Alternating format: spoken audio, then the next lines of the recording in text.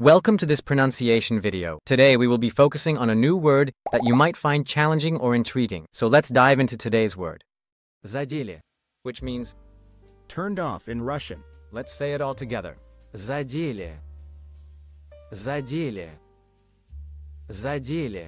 One more time. Задели. Задели. Задели.